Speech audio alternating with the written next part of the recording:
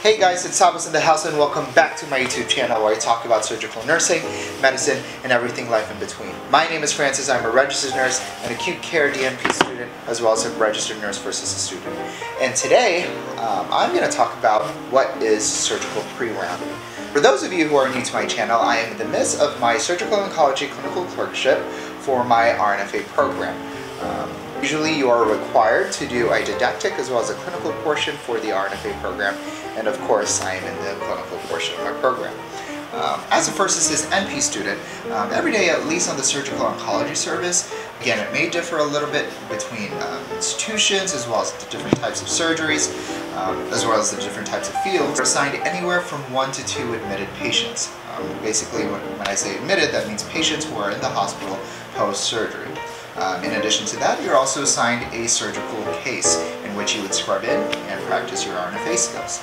Um, Pre-rounding is when you first round on your patient before presenting your patients um, to when the actual surgical rounds take place. My service in surgical oncology, um, actual surgical rounds usually start around 7.15, so I can complete my pre-rounds before that.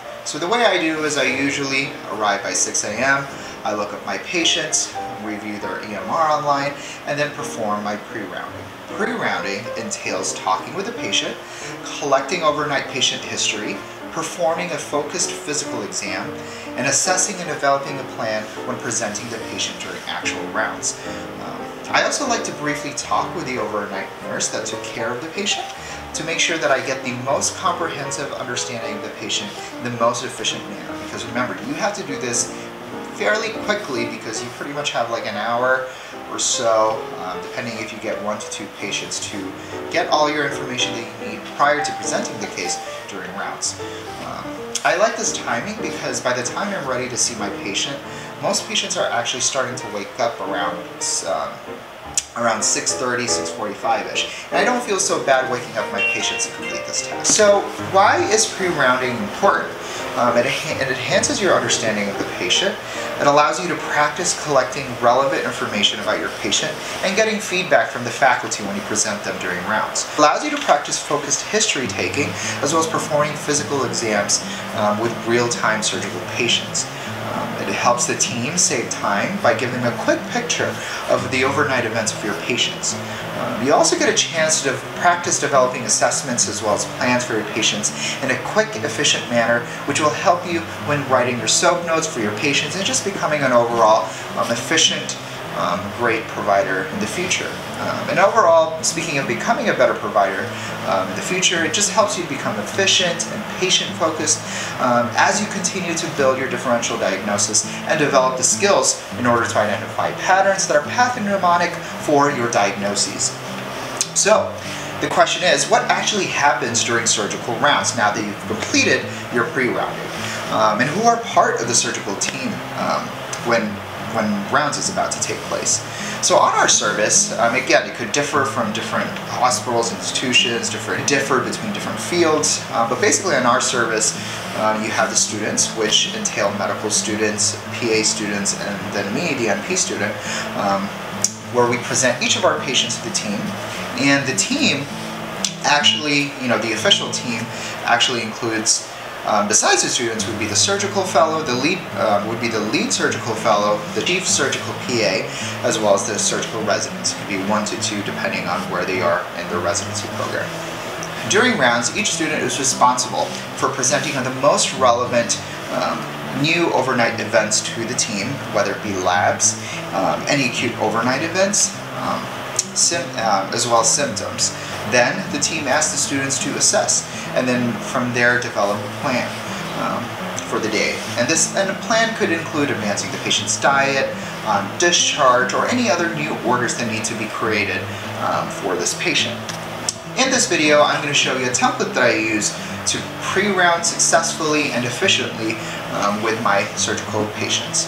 Um, I suggest either creating your own template or using some sort of um, pre-made template. Uh, I actually, in my experience, I actually combined um, information that I generated from a notebook that already has pre-made um, kind of information taking, and it's from it's from Amazon. I bought it, and I'll insert the link to this specific notebook, which is very helpful. It's called H&P Notebook. It's by Medical Basics. Um, then I also combined it with my own template, and I made a template that kind of merges both of it into this specific rotation. So when you look up your patients in the EMR, they're really relevant things that you need to look out for in order to get the most, um, in order to get the most comprehensive view of your patient um, in an efficient manner. Which information is most relevant for you to take note or to write down?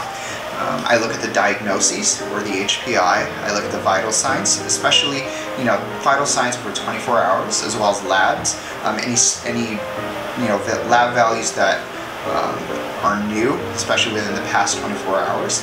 Um, I's and O's. I's and O's is very important in surgery because, again, one of, one of the most important things that we look for for surgical patients post-surgery is their urine output as well as their bowel movement. So, you know, we look at what is the uh, what is the consistency of their urine, what is the odor, um, is there any infection, what, did they pass bowel movement, um, they have flatulence, um, and then also when you're doing your I's and O's, make sure to include the drains, uh, like JP drains, as well as Foley catheters, or even epidurals.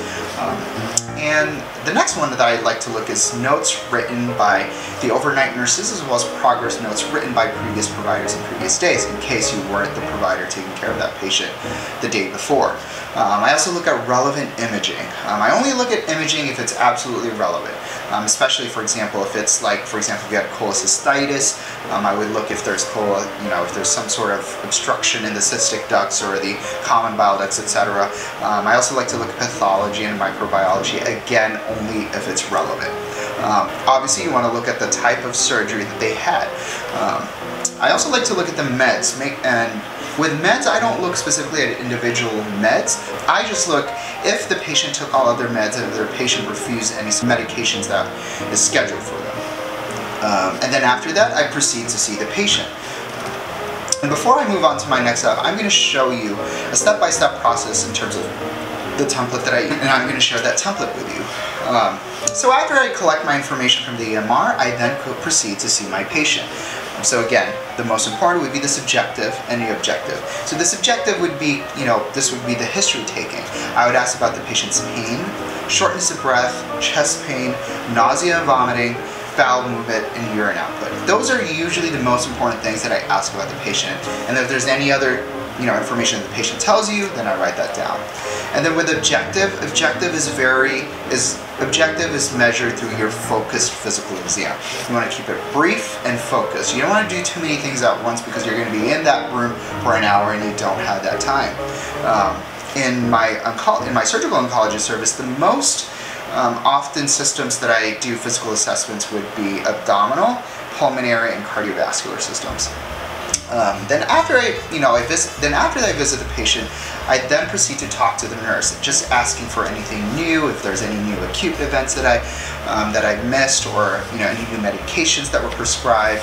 Um, if the patient removed anything, like a drain or accidentally pulled out stuff, that's those are really those are really important things that you want to look out for. Um, and then from all this information that I collect, I go back to my station. I kind of assess, you know, what is my patient um, what is my patient's problem for today and what can I do to kind of help remedy that for that day. Um, and then once I assess my patient, I develop a quick plan in my head and then I present this case to the team. Um, and it's great. I love rounds because it gives you, um, like, you know, the reasons that I give you previously, it just helps you practice to become a really efficient provider in the future, especially when you're working in surgery. Um, so, with that being said, I'm going to show you the template that I use to collect information in order to properly perform surgical pre-round. Alright, so here's the template that I've created. I'm going to start out first with the subjective part. Remember, subjective is very important. That's where you're going to get a lot of your patient's history. So I start with the here with the chief complaint and the history of present illness, also known as the HPI. I like to focus on neuro slash pain. I do cardiovascular, respiratory, GI for any abdominal issues, and then GU for um, the way that they're voiding. And then I quickly jot down their past medical history and past surgical history, especially if it's relevant to what they're um, presenting in the hospital for. And then as soon as I finish subjective, I then proceed to the objective part quickly. And I'll start with generalized. Again, cardiovascular, pulmonary, or respiratory. Um, the abdomen, or GI. And then I like to like write down their fluids, electrolytes, um, basically if they're on any fluids, IV fluids especially, and then prophylaxis if they're on mechanical versus chemical um, prophylaxis. I like to write down their um, vitals, temperature, the heart rate, respiratory rate, blood pressure, and SpO2. And, and more specifically, I typically write down um, the, the most recent vital signs and then the um, 24 hours previous. Remember, with blood pressure, I also put the range. I put any important meds, especially, I typically only jot down, especially if the patient refused any medications. And then I go to labs. So again, remember you um, you should know your fishbone and all that good stuff. So you know the white blood cell, platelet, hemoglobin, hematocrit, um, and then your electrolytes, so sodium, potassium, chloride, um, bicarb, um, or carbon dioxide in the hospital, and then BUN, creatinine, and glucose. So just remember, remember to get your fishbone down. Um, and then in surgery, we like to look at calcium, magnesium, and phosphate. Typically, we like looking at magnesium and potassium. On our service, our potassium, we want it to be at least four. Um, and then magnesium, we want it to be at least two. Um, and then here, look, looking also at the total protein, albumin is a big important one. Um, we look at the bilirubin levels, especially if there's any biliary obstruction or biliary issues, and then AST, ALT, and ALP for any liver um, problems, especially, you know, or pancreatitis issues, or, um, but more specifically, liver. Um, and then we in surgery they love I's and O's because we you know one of the most important things we watch out for post surgery is their ability to void, um, and that would be the intake and output. And usually with urine output we do a total output divided by the weight times 24, and weight is in kilograms. The units for urine output is um, cc's per kilogram per hour.